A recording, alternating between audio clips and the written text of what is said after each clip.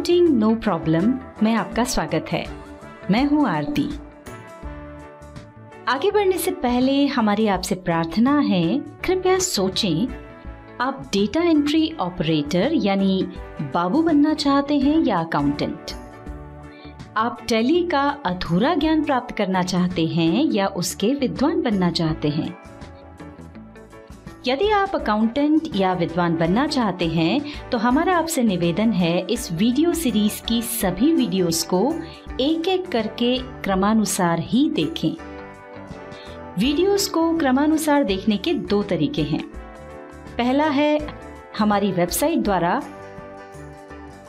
और दूसरा हमारे YouTube चैनल की प्लेलिस्ट द्वारा। टेली प्राइम की इस वीडियो सीरीज़ के आज के अध्याय में हम आपको बताएँगे कि टेली प्राइम में जर्नल वाउचर क्या है और उसमें ट्रांजैक्शन कैसे रिकॉर्ड करते हैं। इसके पहले वाली वीडियो में हमने आपको क्रेडिट नोट वाउचर क्या है और उसमें सेल्स रिटर्न के ट्रांजैक्शन कैसे रिकॉर्ड करते हैं, ये बताया था। और आज आप जानेंगे जर्नल वाउचर के बारे में। यहाँ आपको एक कंफ्यूजन हो सकता है, जिसे हम पहले ही दूर कर देते हैं। हमने आपको मैनुअल अकाउंटिंग में बताया था कि जितने भी ट्रांजेक्शन होते हैं, उन्हें जर्नल में रिकॉर्ड किया जाता है। या सरल शब्दों में कह सकते हैं जर्नल एक पुस्तक के रूप में होती है जिसमें सभी ट्रांजेक्शन तिथिवार और क्रमानुसार रिकॉर्ड किए जाते हैं। और ये भी बताया था कि टैली ने कंप्यूटर अकाउंटिंग में जर्नल के स्थान पर ट्रांजेक्शन्स रिकॉर्ड करने के लिए आठ अलग अलग स्टैंडर्ड अकाउंटिंग वाउचर्स बना दिए हैं। जिसमें से अभी तक हम सात वाउचर्स के बारे में समझ चुके हैं और जो आठवां वाउचर है, जिसके बारे में हम इस वीडियो में समझाने जा रहे हैं, उसका नाम भी टैली ने जर्नल वाउचर रखा है। यहाँ हमारा कहने का मतलब ये है कि मैनुअल अकाउंटिंग में जो जर्नल होता है टैली ने उसे आठ वाउचर्स में बांट दिया है। और उसका जो आठवां वाउचर है, उसका नाम भी जर्नल वाउचर है तो यहाँ पर आपको ये कंफ्यूजन नहीं होना चाहिए कि मैनुअल अकाउंटिंग का जर्नल और टेली का जर्नल वाउचर दोनों एक ही हैं। जैसा कि हमने आपको वाउचर्स क्या हैं और उनके उपयोग वाली वीडियो में बताया था टेली में जर्नल वाउचर में जो एंट्रीज रिकॉर्ड की जाती हैं, वो हैं opening entries rectifying entries transfer entries adjustment entries, closing entries, entries regarding dishonor of checks, credit purchases and sale of things other than goods, entries of goods withdrawn by the owner for personal use, etc. अभी सरल भाषा में इतना समझ लीजिए कि जिन transactions को हम टैली की इस वीडियो सीरीज़ में पहले बताए गए सात वाउचर्स में से किसी भी वाउचर में रिकॉर्ड नहीं कर पाते हैं, उन्हें जर्नल वाउचर में रिकॉर्ड किया जाता है। यहाँ आपको एक बात और बता दें कि इस वाउचर में एडजस्टमेंट एंट्रीज की जाती हैं, इसलिए इसे एडजस्टमेंट वाउचर भी कहा जाता है। अभी हम आपको इस वीडियो में कुछ सरल एंट्रीज बता रहे हैं। बाकी सभी एंट्रीज आगे हम आपको जर्नल वाउचर के एडवांस पार्ट में बताएँगे, क्योंकि इसके पहले हमें बहुत सी अन्य बातों की जानकारी होना भी आवश्यक है। यहाँ एक और महत्वपूर्ण बात समझ लीजिए कि जर्नल वाउचर में ट्रांजैक्शन को रिसीट वाउचर पेमेंट वाउचर और कॉन्ट्रा वाउचर की तरह ही डेबिट और क्रेडिट का उपयोग करते हुए रिकॉर्ड किया जाता है। यानी वाउचर मोड में ही रिकॉर्ड किया जाता है।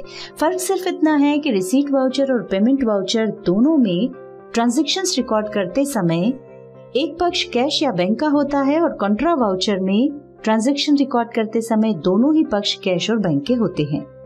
जबकि जर्नल वाउचर में प्राय कैश या बैंक अकाउंट का उपयोग नहीं किया जाता है। आइए अब जर्नल वाउचर से संबंधित कुछ ट्रांजेक्शन रिकॉर्ड कर लेते हैं।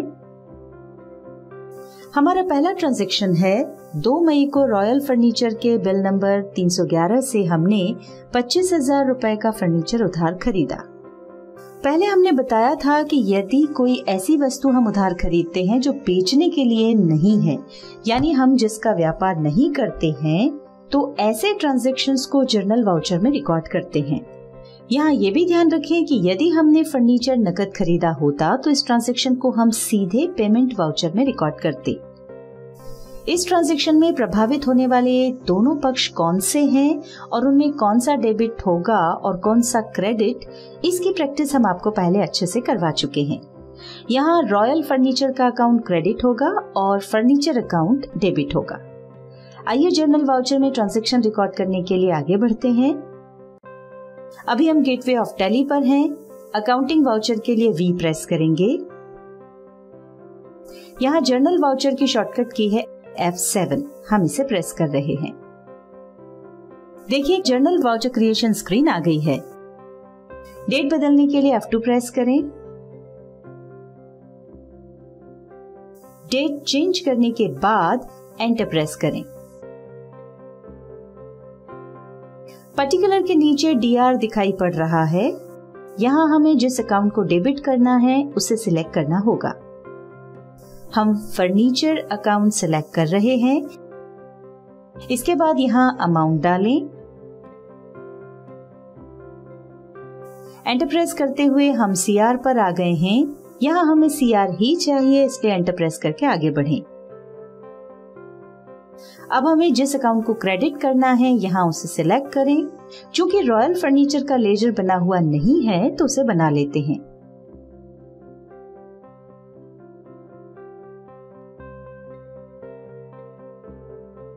ध्यान रखें, इसका लेजर सन्ड्री क्रेडिटर्स ग्रुप में बनेगा। उसका कारण ये है कि ये भी हमारी देनदारी है। देखिए सीआर में रॉयल फर्नीचर का नाम आ रहा है, साथ ही क्रेडिट में अमाउंट भी आ गया है।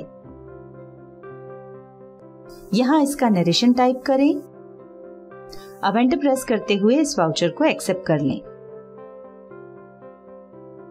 दूसरा ट्रांजेक्शन है हमें अशोक ट्रेडर्स से कमीशन का पाँच हज़ार रूपए का आईसीआईसीआई बैंक का जो चेक एक मई 2020 को प्राप्त हुआ था, जिसे हमने स्टेट बैंक ऑफ़ इंडिया में जमा किया था, वो चेक 31 मई को बैंक से डिसऑनर होकर यानी बाउंस होकर वापस आ गया।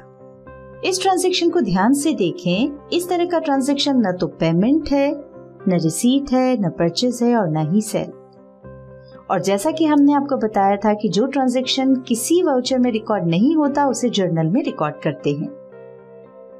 सबसे पहले F2 की प्रेस करके तारीख बदल लें।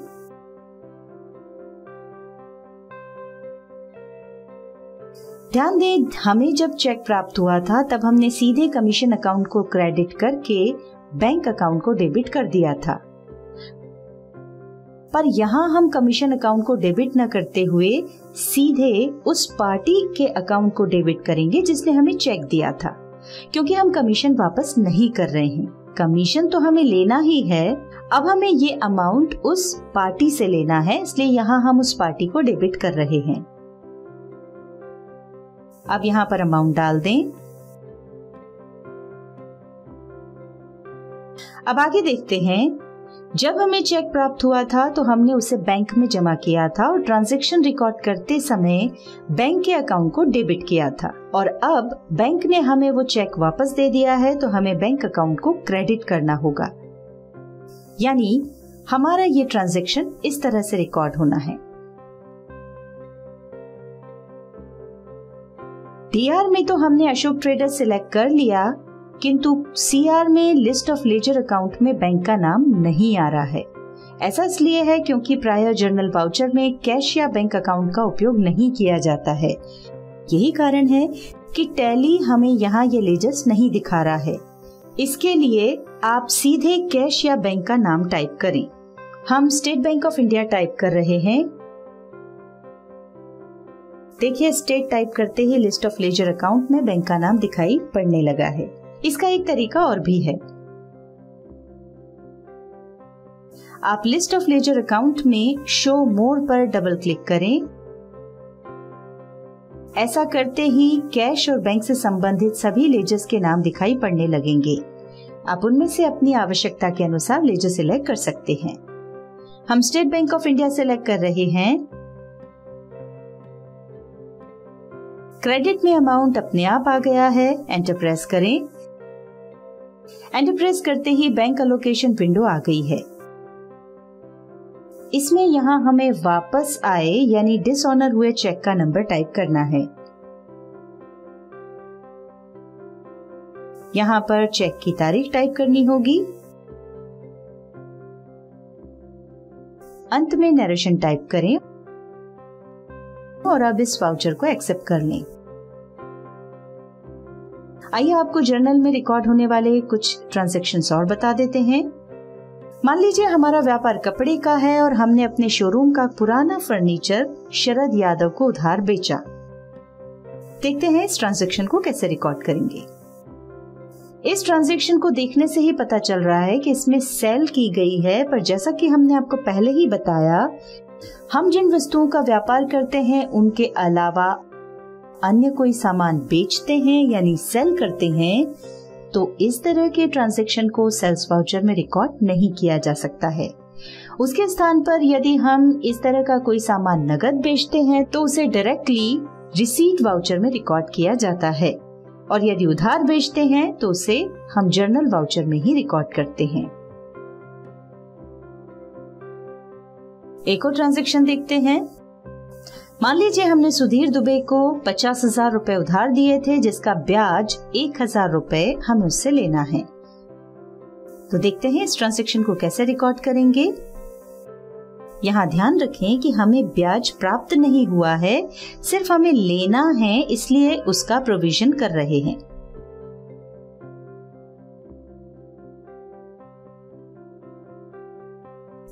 इस वीडियो में आपने जर्नल वाउचर के कुछ सामान्य उपयोगों के बारे में जाना।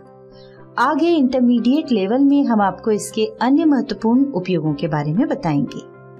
इसके बाद वाली वीडियोस में हम आपको बताएँगे कि अभी हमने वाउचर्स में जो ट्रांजेक्शन्स रिकॉर्ड किए हैं, उन्हें डे बुक में कैसे देखते हैं।